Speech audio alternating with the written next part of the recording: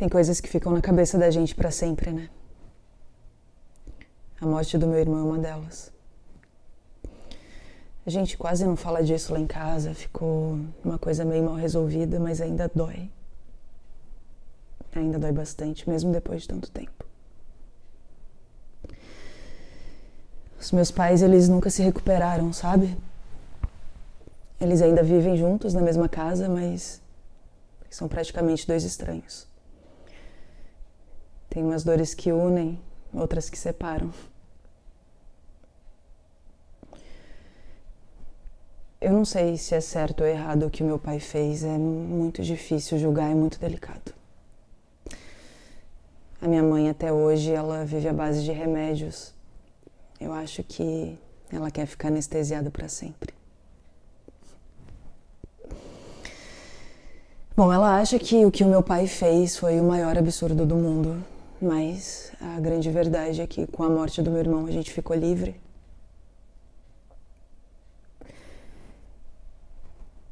eu me sinto muito culpada por sentir isso, por pensar desse jeito, mas a nossa vida era um inferno. O meu irmão, ele nunca ia ser uma pessoa normal, sabe? Ele nunca ia poder amar, ele nunca, ele nunca ia poder odiar, querer qualquer coisa normal, tipo tomar um sorvete de chocolate. Ele, ele não sabia isso, ele não conhecia. E ele estava condenado a viver daquele jeito. A única coisa que ele fazia era chorar.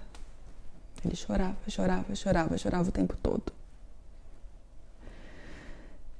E ele também não sabia explicar o que estava sentindo, por que, que ele estava chorando. Os médicos, eles diziam que doía, sabe? Que doía muito. Coitado do meu pai, cara, não deve ter sido nada fácil.